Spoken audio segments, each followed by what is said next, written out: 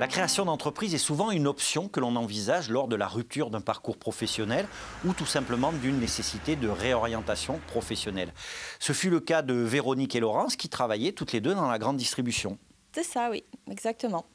Et moi, effectivement, je, travaillais au service administratif et j'ai fait partie d'un plan de, départ volontaire.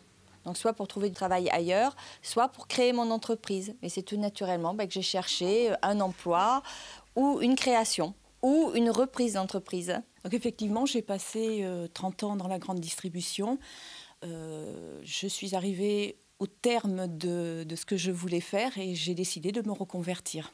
Lorsque s'est posée la question de la création d'entreprise, vous souhaitiez un concept qui ait du sens pour vous Je voulais accompagner les gens, me tourner vers quelque chose qui avait des valeurs. Aider les gens et les accompagner, pour moi, c'était très important. Alors finalement, vous avez euh, uni vos compétences, l'une dans le commercial, l'autre dans l'administratif, et vous avez opté pour une franchise, la franchise Diète Plus. Pourquoi une franchise? Une franchise a un côté rassurant, celle-ci étant plein essor. Diète Plus nous a accompagnés et nous accompagne encore dans le développement de notre entreprise.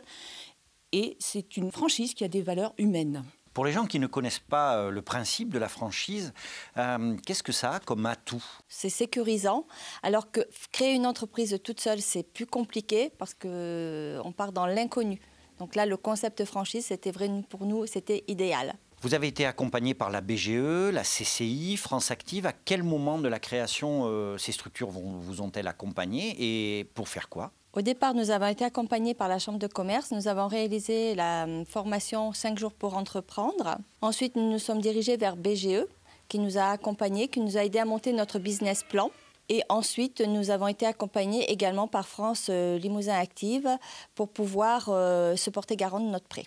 Alors juste pour euh, nos téléspectateurs ou téléspectatrices qui en auraient peut-être besoin, en quoi ça consiste le rééquilibrage alimentaire, puisque c'est la principale activité de votre structure? Nous accompagnons les, gens, nos clients, vers euh, une perte de poids saine et durable.